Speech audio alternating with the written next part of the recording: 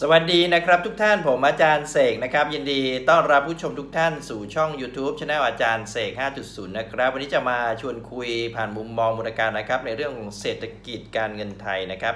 ช่วงนี้เราจะได้ยินบ่อยนะไอ้คำว่าหุ้นกู้ชั่วนิรันด์นะครับนะภาษาอังกฤษเขาเรียกว่า perpetual bond นะก็คือเป็นตราสารหนี้ประเภทหนึ่งนะครับ ซึ่งเราไม่ค่อยเห็นนะในอดีต นะแต่ในช่วง 1-2 ปีมาเนี้ยเราจะเห็นนะตราสารหนี้นะชนิดนี้นะที่เรียกว่า perpetual bond นะหรือว่าหุ้นกู้ชั่วนิรันดร์นั่นเองมันเป็นผลิตภัณฑ์ทางการเงินนะครับของบริษัทนะที่เริ่มแพร่หลายนะในยามวิกฤต เศรษฐกิจการเงินโลกในครั้งนี้ วันนี้มาชวนคุยกันเพื่อเห็นถึงข้อดีข้อเสียนะของผลิตภัณฑ์ทางการเงินตัวนี้นะครับ แต่ว่าโดยส่วนตัวผมนะผมไม่ได้สนใจถือนะครับพวกผลิตภัณฑ์ทางการเงินนะ เพราะว่าตัวเองเป็นคนไม่ได้มีทรัพย์สินอะไรมากมาย ก็ใช้หลักเศรษฐกิจพอเพียง และวิถีทางสายกลางนะครับในการดำเนินชีวิต ส่วนใหญ่ก็กระจายไว้ในสินทรัพย์ที่แท้จริงมากกว่า นั่นคือเหตุผลว่าทำไมเนี่ยผมถึงพูดนะครับนะให้คนทั่วๆไปนะซึ่งคนส่วนใหญ่คือชนชั้นกลางและล่างเนี่ยนะเตรียมตัวในการกระจายความเสี่ยง นะครับในทรัพย์สินที่แท้จริงนะพวกบ้านที่อยู่อาศัยที่ดินพ่อปลูกยวดยานพาหนะนะครับเงินสดแล้วก็ทองคำทองคำจริงนะฮะทองคำที่แท้จริงนะครับไม่ใช่ทองคำกระดาษนะแต่ว่าเราก็สามารถทำความเข้าใจนะครับถึงผลิตภัณฑ์ทางการเงินได้นะโดยเฉพาะช่วงนี้เราจะได้ยินนะครับว่าหุ้นกู้ชั่วนิรันด์บ่อยนะครับผลิตภัณฑ์ทางการเงินตัวเนี้ยมันคืออะไรนะมันมีข้อดีข้อเสียอย่างไรนะครับ ราะว่าอะไรครับเพราะช่วงประมาณอาทิตย์ที่แล้ว อาทิตย์ที่ผ่านมา เราก็จะเห็นว่าธนาคารนะครับ ซึ่งเราก็พอมองเห็นว่ามีความเสี่ยงนะจากปัญหาเรื่องของหนี้สิน ซึ่งขณะนี้นะมาตรการผ่อนนะครับผ่อนผันนะ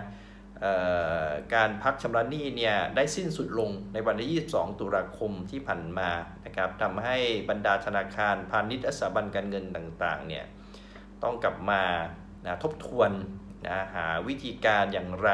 นะที่จะประกันตัวเองนะรับรองความปลอดภัยของตัวเองนะครับ จากคลื่นหนี้สินนะที่จะเข้ามากระแทก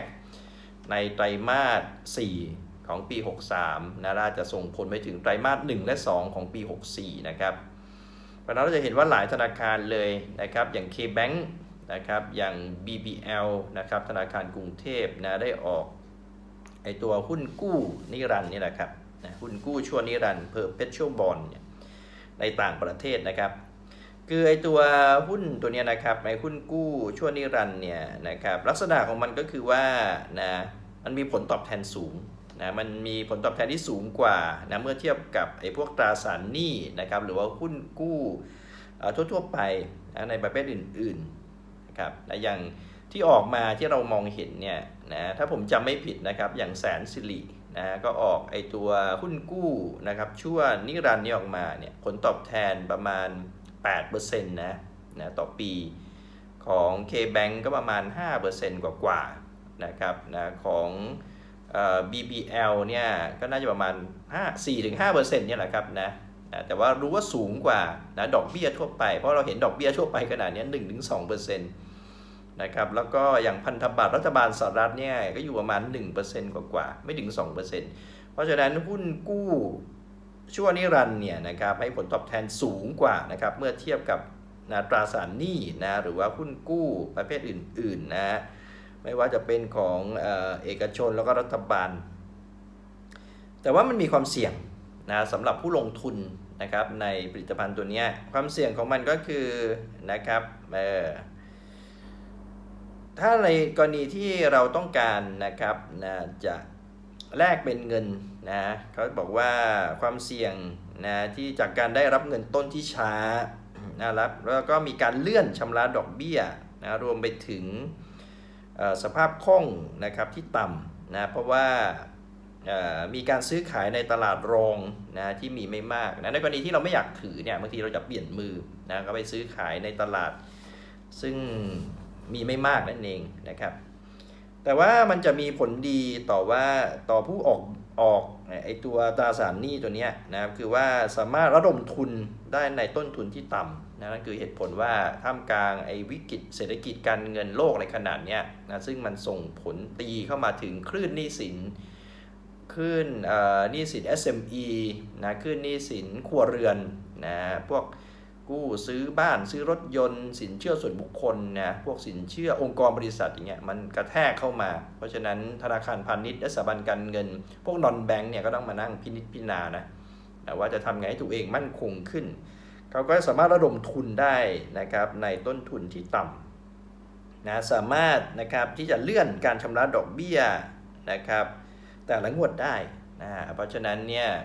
หลายครั้งเนี่ยถ้าเกิดวิกฤตเศรษฐกิจไม่ดีนะ ถึงแม้ผลตอบแทนจะสูง แต่ว่าเขาก็สามารถเลื่อนนะการชำระดอกเบี้ยแต่ละงวดออกไปได้นะ ในกรณีที่บริษัทมันผลประกอบการไม่ดีนะสามารถนะครับที่จะรักษาอัตราส่วนหนี้นะต่อทุนนะครับไม่ให้สูงเกินไปนะจนทำให้เกิดนะอาจจะทำให้เกิดนะความเสี่ยงด้านเครดิตนะเพราะนั้น ลักษณะแบบนี้ก็เรียกว่าเป็นลูกเล่นนะครับของบริษัทองค์กรนะครับที่จะเพิ่มทุนนะครับในระยะสั้น เพราะว่าไอตัวหุ้นกู้ช่วงนิรันนี่นะครับนะที่เรียกว่ามันไม่มีวันไถ่ถอนนะนะมันไม่มีการนะระบุนะครับวันไถ่ถอนคืนนะครับไว้ในตัวตราสารหนี้นะเหมือนกับไอ้พวกบอลนะพันธบัตรอื่น ๆ ที่เขาจะมีระบุว่า 2 ปี 5 ปี 10 ปี มันจะมีวันไถ่ถอนคืน แต่ว่าไอ้หุ้นกู้ช่วงนิรันดร์เนี่ยไม่มีนะเพราะฉะนั้นลักษณะของมันเนี่ยเขาบอกว่าคล้ายๆกับตราสารทุนนะเพราะฉะนั้นใน 5 ปีแรกเนี่ยในทางบัญชีมันจะถูกมองว่ามันเป็นทุนประเภทหนึ่ง แต่พอเลย 5 ปีไปแล้วเนี่ยมันจะถูกมองเป็นหนี้สินนะเหมือนกับไอ้ตัวบอลนะเป็นมองเป็นหนี้สิน เพราะฉะนั้นด้วยลักษณะแบบนี้มันเหมือนลูกเล่น นะครับให้ทางด้านบริษัทต่างๆ ที่ออกไอตัวหุ้นกู้ช่วงนิรันดร์ไอ perpetual bond เนี่ยนะสามารถมีลูกเล่นในทางบัญชีนะเปลี่ยนจากทุนเป็นหนี้สินได้นะครับ แต่โดยมากแล้วเนี่ยพวกบริษัทต่างๆ บางทีเขาจะหาวิธีการนะครับไถ่ถอนคืนก่อนครบ 5 ปี เพราะไม่งั้นแล้วเลย 5 ปีไปแล้วเนี่ย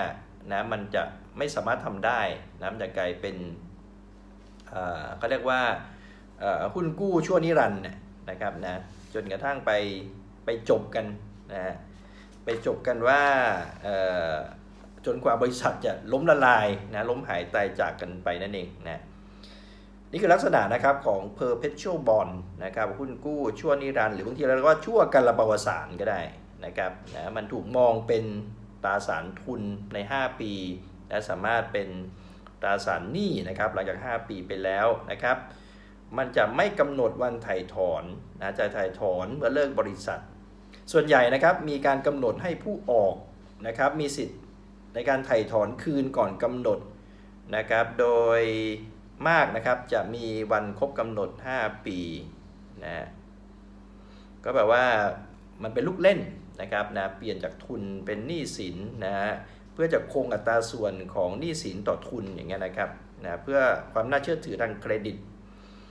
แล้วก็มันมีเงื่อนไขนะสามารถที่จะ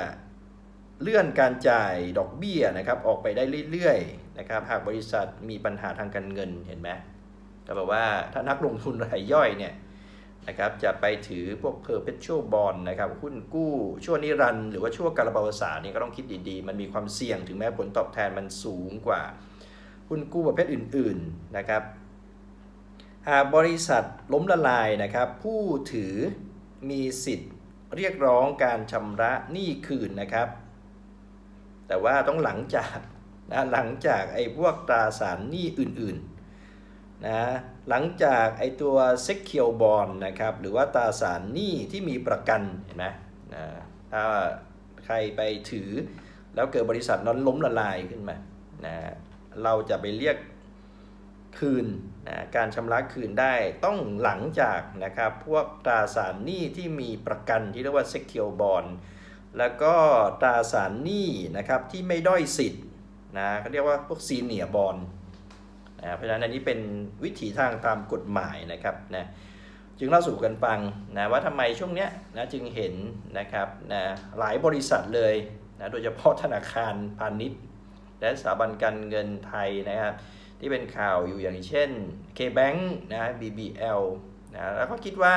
น่าจะมีอีกหลายธนาคารนะครับนะกำลังจะออกไอตัว perpetual bond นะหุ้นกู้ชั่วนิรันดร์หรือว่าชั่วกาลประวัติศาสตร์เพื่อจะระดมทุนนะครับนะมาเป็นสภาพคล่องไว้ป้องกันนะขึ้นหนี้สินนะครับที่อาจจะนะส่งผลเป็นคลื่นเสีย นะเป็นเป็นไม่คลื่นเสียเป็นหนี้เสียนะคลื่นของหนี้เสียหนี้เน่า NPL ได้ในอนาคต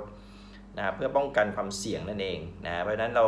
ต้องเข้าใจนะครับนะเพราะนั้นเมื่อแผ่นดินไหวนะครับทางระบบเศรษฐกิจและการเงินในขณะนี้สินทรัพย์ทางการเงินมันก็ไหวตามไป เพราะฉะนั้นใครที่สนใจไอ้พวกหุ้นช่วงนิรันด์แบบนี้นะครับนะผลตอบแทนมันสูงก็จริง 5% 8%แต่มันมีความเสี่ยงสูงเหมือนกันนะ ในกรณีที่บริษัทเขาไปไม่รอดล้มละลายขึ้นมาเนี่ยเราต้องรอคิวในการเคลียร์นานเลยนะแล้วรวมถึงอาจจะไม่ได้เงินต้นคืนนะต้องทำใจไว้คือการที่จะไปใช้สินทรัพย์ทางการเงินนะอย่างหุ้น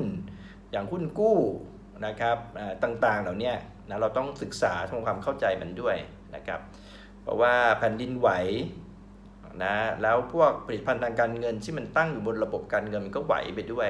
มันก็โอกาสที่มีความเสี่ยงจะเสียหายก็มีสูงนั้นในมุมมองผมนะคนส่วนใหญ่ที่เป็นชนชั้นกลางและล่างนะผมจึงมุ่งเน้นไปที่กระจายความเสี่ยงในสินทรัพย์ที่แท้จริงนะครับนะเพื่อให้ทุกท่านเนี่ยอยู่รอดปลอดภัยโดยมีพื้นฐานของปัจจัย 4 ก่อนเป็นสำคัญ แล้วก็ที่สำคัญนะครับก็ควรจะมีทองคำนะไว้เป็นเซฟฮับเว่น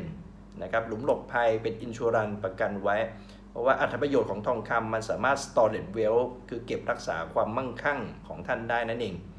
นะครับแต่ถ้าเกิดท่านมีเงินทุนมากกว่านั้นนะครับท่านก็สามารถนะไปลงทุนได้ในสินทรัพย์ทางการเงินนะอาจจะเป็นหุ้นหุ้นกู้ช่วนิรันด์ก็ได้นะผลตอบแทนมันจะสูงกว่าท่านเก็บเงินสดไว้ในธนาคาร แต่ความเสี่ยงมันก็สูงเหมือนกัน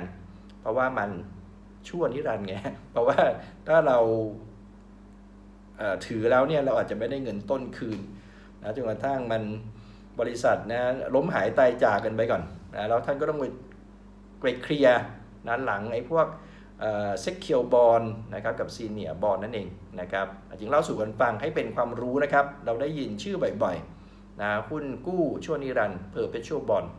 นะครับเพราะฉะนั้นก็เป็นสินทรัพย์ทางการเงินประเภทหนึ่ง ที่เห็นบ่อยและแพร่หลายในช่วงนี้นะครับ ใครชอบฝากไลค์แชร์นะครับ สนใจก็สามารถสมัครติดตามในช่อง YouTube จะแนลอาจารย์เสกนะครับ แล้วเจอกันใหม่คลิปหน้า สวัสดีครับ